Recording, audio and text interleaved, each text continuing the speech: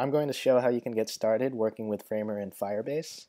This is the default Framer Studio file showing the icon transitioning through states.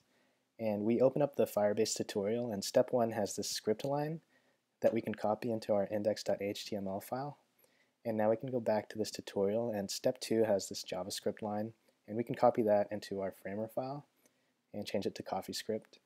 And this line creates a Firebase reference that we can use and you'll get a different address if you follow this demo.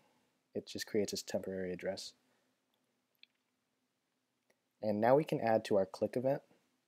After the icon state transition, we'll create a variable for that state and store it in our Firebase reference.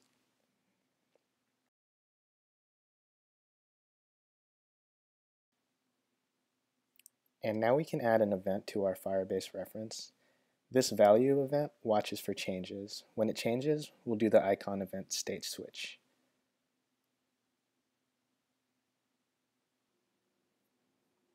And in Framer Studio, it doesn't look like anything's changed.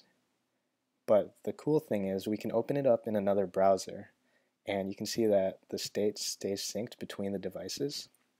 And we can open another browser and it gets cooler as you open up more and you can see that it's just synced between everything and this is the iOS simulator now and now I can even pull it up on my device and here I have an iPhone 6 and you can see that things are staying synced between the iPhone and the browsers.